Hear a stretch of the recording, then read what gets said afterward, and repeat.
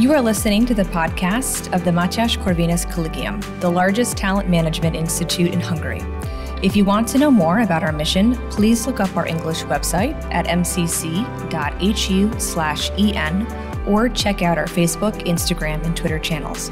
For interesting articles and analysis of our professors, external contributors, and students, look up our knowledge base at corvinak.hu/en.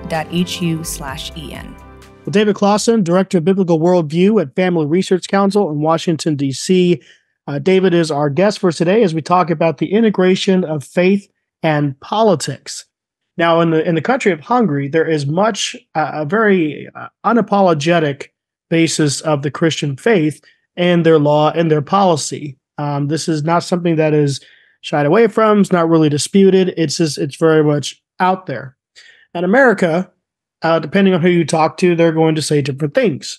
Some will say they were, uh, you know, America was founded as a Christian nation, a bona fide Christian nation. Others will say that it was founded on Christian principles. Uh, so, you know, the principles of Scripture should be reflected in our laws. And then others will say that there should be absolutely no, no uh, collusion, if you will, whatsoever. And of course, they will cite the separation of church and state, which the uh, really the only only thing we see alluding to that is more in the Federalist Papers, not so much in the Constitution. Although some will argue that under the First Amendment, uh, the Establishment Clause, you know, Congress will, will make no law establishing or recognizing a religion. You know, sometimes people will go to that as well. So these are all fun things to talk about. And uh, David David Closson, it is literally his job to be uh, the spokesperson for a very uh, prominent tank in Washington, D.C., a spokesperson about the integration of religion and politics. So, David, great to have you on the on the show, and we look forward to hearing uh, all the insight that you're going to bring. Well, John, thank you again for having me on the program. It's always enjoyed to have conversations with you. yeah, David and I have done many of these over uh, over the years, so it's uh it's fun to do it from uh, from across the sea. So, David, um, you know, as I mentioned, different countries are going to see it differently. And in the case of America, a lot of people within America see it differently as well. Um, so my, my first question for you is what is the basis, what is the reasoning to have the importance of having uh, religion as part of law, as sort of the foundation of law? And what are your thoughts on um, America's history, the historicity of religion in American law? Yeah, John. So let me, at the onset of the conversation, kind of put all my cards on the table. You know, I'm a convictional Baptist. Uh, and so on theological principle alone, uh, I'm against establishmentarianism. Um, now I want, um, and this would be the position of, you know, some of our friends like Andrew Walker, professor at Southern Seminary. Um, you know, he, he would say something similar. He's against for theological reasons, and establishmentarianism. But we would both say we want civil society, we want culture uh, to be infused uh, with the leaven of the gospel. We want Christian convictions um, to drive the, the, public engagement that we are, are, are part of. Um, and so that would put, you know, that's in some ways that's unique to the Baptist tradition you know, even the reformers, if you're thinking of Calvin, if you're thinking, uh, in the work he did in Geneva, you're thinking of Luther and kind of the Lutheran tradition, there's a much more willingness to have kind of an interdependence between the state and the church. Um, kind of Baptist, uh, again, for theological reasons, have always said, well, no, we don't want to commingle the state and the church. Uh, and so I, I, think it's important for listeners to know kind of I'm coming at this from a uniquely Baptist perspective. Um, you mentioned a second ago the phrase separation of church and state. And in the American history, uh, you know, that was a, like you're absolutely correct, John, pointing out that that phrase is not uh, part of the U.S. Constitution. It was a letter in 1802 uh, that, you know, I love this as a Baptist uh, that Thomas Jefferson wrote that in a letter to the Danbury Baptists, uh, where he basically, you know, the, this group of Baptists were saying, you know, we're grateful that you're president. We really hope that you'll respect religion, that you'll respect the church. And he said, well, first I, will. I believe in the separation of church and state. And what Jefferson meant by that was he recognizes that the state is the one that controls the sword. And it's the state uh, that can be inclined towards overreaching. And so institutionally, for the sake of the protection of the church, uh, there should be institutional separation. That does not mean uh, that religion and religious ideas have influence in government, uh, but for the sake of the protection of the church, there should be institutional separation.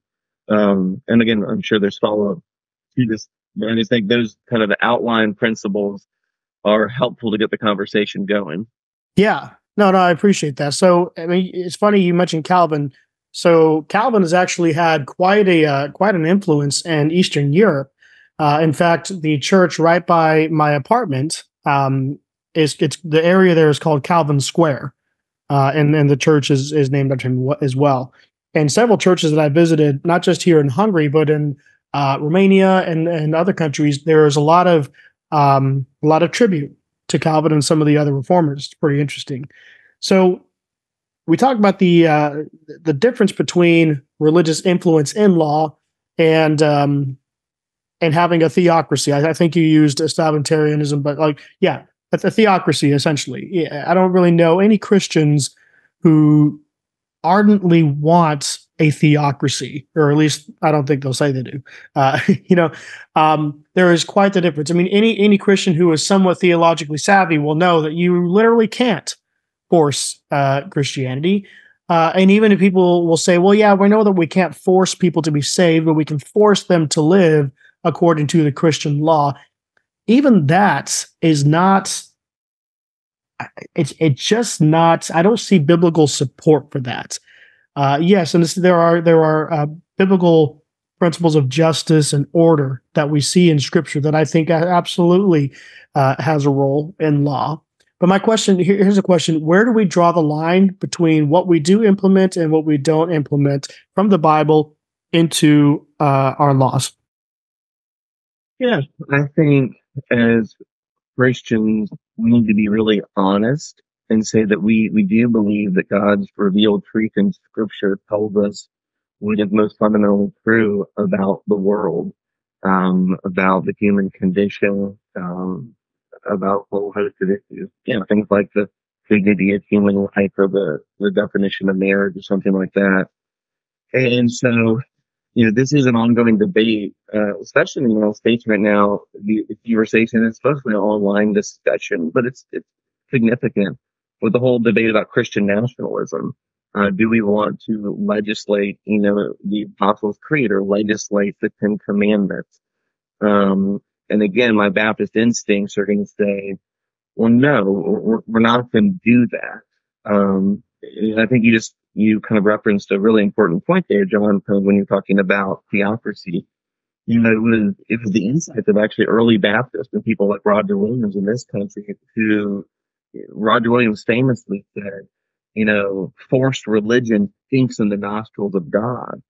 And so even like in a kind of an order, and I, I don't think it's ever been able to be tried to say like in a theocracy, you know, I guess in the modern age, so to speak, Israel is clearly a ancient Israel is clearly a theocracy. But even if like, you know, in a, where you have a state church that mandates, you know, forced church attendance, well, what Roger Williams would say is that at the very best, you just get a church full of hypocrites. Uh, you get a church full of people who are only there because they don't want to get fined. They're, they're not actually regenerate Christians that are trying to order their lives in a way that pleases God. And so, you know, when you have like a forced you know, church attendance or something like that, you're not actually, um, having societies full of redeemed Christians. Why is that? Well, an insight of Christianity is that it's the spirit uh, that ultimately converts. You know, none of us can actually convert anyone in our own strength. And so that's why early Baptists understood the importance of religious freedom. Uh, we need to create con- the conditions uh, where people are free to believe what they want to in terms of theology and doctrine and have the freedom to order their lives according to their deeply held convictions. Um, and we let the spirit do his work.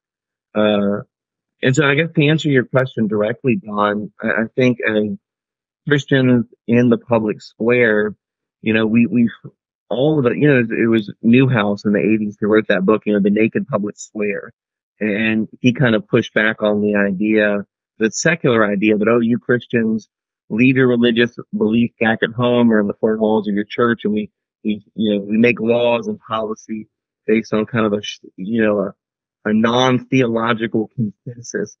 Well, and what Neuhaus argued in that, John, is that, well, all of us have a worldview.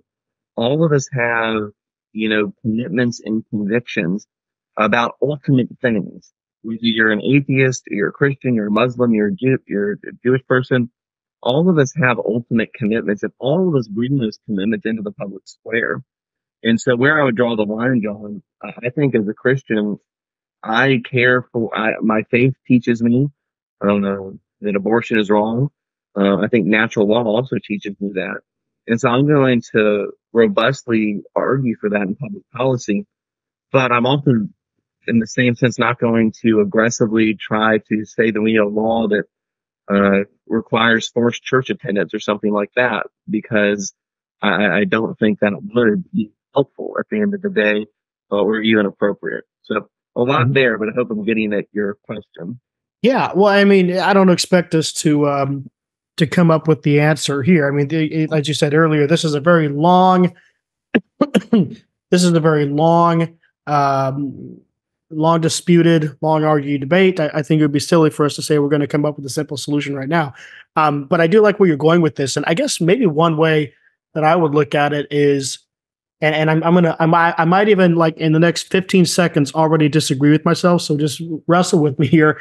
Uh, perhaps laws should reflect scripture in a way that does not impede on the rights of those who of the just general rights of those who are not believers. Now, I understand that that in and of itself is a whole can of worms because someone could say, well, that means you would outlaw abortion because, you know, scripture, but that impedes on my right to an abortion. And of course, I would argue that there is no right to abortion.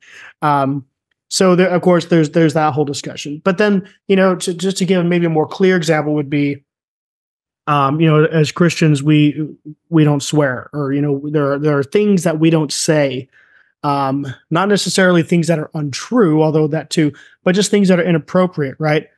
But I would not want to force someone to not be allowed to cuss. You know, I'm saying because because that to me is a free speech thing. You know, I don't prefer it, but um, yeah, I don't want to impede on their free speech. Does that make sense?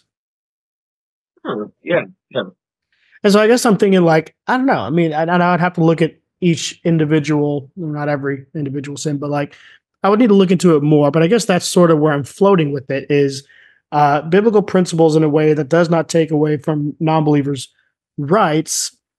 Um, but then I would be forced to support what is a right, and I'm like, well, okay, well that that could take forever. Um, so at the end of the day, though, there's not going to be an agreement. I mean, even if I mean you and I probably agree on all this, but like even if we were to say establish stuff that is biblically centered that does not, you know, impede on others' rights, well, they're not going to agree that we're not impeding on their rights. But that's a whole other fun conversation. Um, yeah. So let me, yeah, I'll, I'll jump in here. And at what point, people who are interested in this conversation, there's a wonderful uh, transcript. Uh, there's a new, pretty new publication called Christ Over All. Um, and Dave Schrock actually interviews two professors at Southern Seminary, Andrew Walker and uh, Stephen Wellum, who teaches systematic theology. And they have a really helpful conversation about the things that we're talking about right now. I think one thing that Andrew Watson uh, says in that kind of conversation, uh, and again, he's coming at it from a Baptist understanding. Again, he doesn't support establishmentarianism, uh, but he actually does allow for what he calls a principle of acknowledgement, um, where he's okay with a nation state kind of recognizing the historical reality uh, that Christianity has played um, in that state. Uh, he calls that a historical acknowledgement. Now, that's not the same thing as insisting we are a Christian nation, and by that we're saying everyone here is a Christian. No, but it is saying that he's fine with things like the public display of the Ten Commandments or the phrase "In God We Trust" on our coin. as an acknowledgement of, and again, this is an establishing Christianity, but it is kind of acknowledging the historical indebtedness uh, to the Christian faith.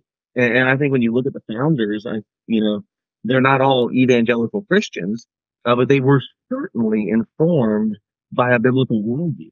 Uh, the tenets of a biblical worldview, even the way they set up the federal government, you think about the, the division of power. Well, I think theologically you could say that that's based on an understanding of human depravity. Uh, we, you know, Lord Acton said, you know, power corrupts and absolute power corrupts absolutely. So even with kind of the division of powers, that's almost a, you know, that's a acknowledgement of something uh, theologically uh, significant, such as human depravity and human fallenness. And, uh, you know, you don't want to concentrate all the power in one fallen person. You want to diffuse that across three branches. Mm-hmm. And so I think part of this conversation, um, again, I don't use the term Christian nationalist, uh, to refer to myself.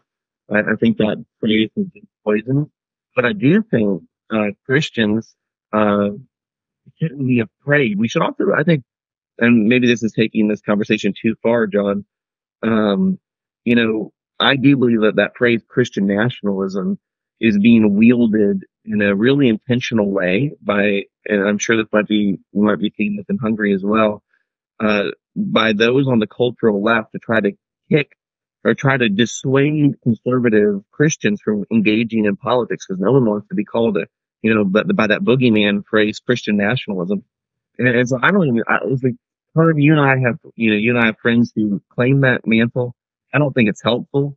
I just say I'm a Christian who cares out of love of neighbor uh, for my culture, my society, and I'm going to engage as a Christian, uh, kind of in the, the republic that I have to, to live in. No, no, no. You didn't take it too far. I mean, I really appreciate. I mean, we've been doing this for years. You know, I try to keep a really loose script so we can really uh, get into the meat and potatoes with all this. And so, I'll, just reflect real quick on on the Christian nationalism thing. I totally agree that there is abuse on both sides. The left takes it to make it a boogeyman thing and tries to wield it against uh, people. Oh, you don't want to be called this. It's you know they'll they'll equate it with white nationalism and and things like that. You know because it has that one word in it. Um, so the, yeah, the left is definitely capitalizing off of that. However, I also think that there are people who identify as Christian nationalists who are really, really causing a mess. Uh, a lot of them, and we we both know a lot of these guys, and they can hardly come up with a unified definition of it, you know, in and of themselves. So there's that. But also, you know, I've asked several of them, why do you call it this? Why don't you just call it, you know, conservative Christianity like we've been doing for years? And and the, the response I've gotten from several of them has been fairly fallacious, in my opinion. They'll basically say, well, Christian conservatives have been failing us. And I'm like, well, okay, but those are people.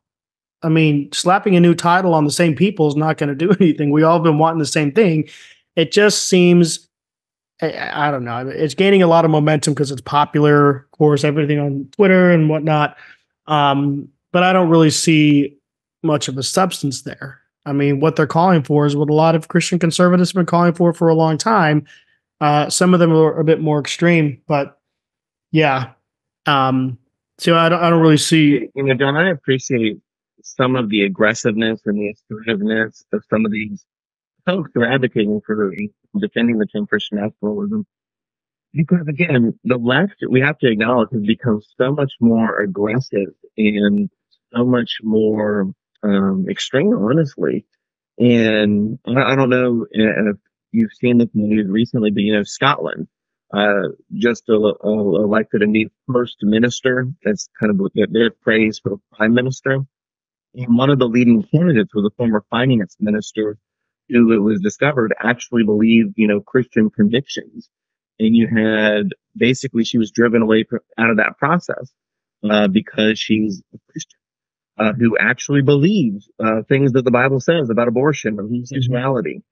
And she, her kind of candidacy was hijacked basically uh, when the, her actual theological beliefs were brought to bear.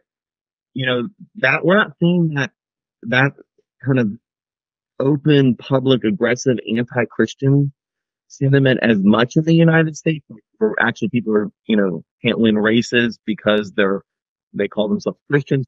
But that's on the rise. I think that's a warning what we see in Scotland. That's coming to the United States. It's coming to other European countries. It's already there in some of them. Mm-hmm. And so some of these folks who, again, call themselves Christian nationalists, I think they're right in saying, hey, let's sound the warning sign. The progressives are coming. Uh, they're coming for your children. They're coming for your churches. And to a degree, some of that's right. Um, yeah, but how does that? That I want to say, you know, I appreciate, you know, the the more full throated articulation of Christian principles. However, um, I think we just need to be careful um, in how we approach it, our tone, and kind of what we're actually advocating for. So I think there needs to be some level of balance. Yeah. Well, I mean, there are a lot of people who've been calling, you know, throwing up the flag for a long time who don't identify as Christian nationalists. But yeah, no, I get what you're saying. Um, I'll give props where it's due. Um, I just, you know, I have a lot of fear about uh, a lot of the Christian nationalists out there and some things they've said, uh, some about race and some about uh, women's places in and uh, in the public sphere, things like that, to just get me a little uh, uh, it just seems to be a very, very perfect platform to for a slippery slope towards the theocracy. And I don't know, I could be wrong. I don't want to fearmonger here, but um, yeah. So moving on. So yeah. it, well, and I would just say, John, my you know, like I told you, my Baptist impulses and instincts absolutely uh, you know, preclude me from going in that direction as far yeah. as theocracy or something like that. Um, and mm. my belief in religious freedom and things like that. Yeah. Uh, no, I get you. Is really important uh, for kind of a robust, theologically sound Christian political engagement. Yeah. No, I get that. I get that. Okay, so um, this has been a fun conversation. We, I mean, we could talk for days about this. I do try to keep these somewhat short, just because I know people uh, want to listen to it and then uh, go on with the day. Anything else you want to add on the importance of uh, basing uh, basing law in religion and how to avoid or uh, actually, you know, I'll just ask this question up front. Uh, what do you do when you have sort of a um, poly-religious, you know, multi-religions in one society? Uh, you know, and you, if we base our laws on one religion, on Christianity, uh, what does that say for the Muslims, the uh, the non-observant, or sorry, the observant Jews, you know, and who else is in the society? Yeah. Uh, so again, I, I, would argue pretty strenuously that we we don't have a something like a state church, that we don't establish a state church that mandates certain theological beliefs. However, you know, you want to be upfront, but um, I mean, like so, John, in a similar way that the atheist comes into the public square with their worldview, Muslim comes into the public square with their worldview, I can't help but come into the public square with a Christian worldview. And I think all law is based on someone's worldview. All law is based on the pre-commitment and convictions that you bring to the table. Uh, from something seemingly as cut off from religion as a speed limit well, you know, one of the reasons you have a 25 mile an hour speed limit in the neighborhood is because that's community, you know, there's children at play. You want to protect them. Well, that comes from the impulse that, well, all people are made in God's image, um, and have inherent value and dignity. We want to protect them. As a Christian, that's how I think there's something even as simple as a speed limit. And so I think kind of the, the uh, government itself is only ever going to approximate justice. We're never going to have perfect justice in this world, not until the new heavens, the new earth, when King Jesus is on his throne. And so we want to strive to approximate justice as the best we possibly can. And again, as a Baptist Christian who's thinking deeply about these things, or trying my best to think deeply about these things, I, am not going to ever pursue laws that would try to bind the conscience in theological and doctrinal matters of my Muslim or Jewish or atheist friend.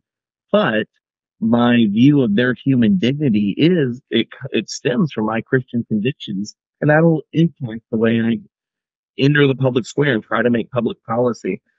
And so again, basic principles. I'm against you know, I'm for the, the separation of church and state. I'm for uh, legislating morality based on kind of very general Christian principles. that I believe serve all people, but I'm not going to try to bind someone's conscience uh, in areas that I think only the Spirit has sovereignty over.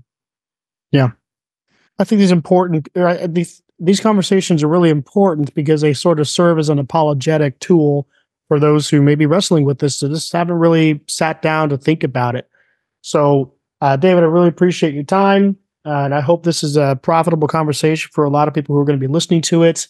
Um, maybe I can include some links in with the uh, on our Spotify with some resources so we can uh, send people to read more on this. So, uh, David, really appreciate your time again. Again, ladies and gentlemen, this is David Closson, Director of Biblical Worldview at Family Research Council, a Christian policy tank in Washington, D.C.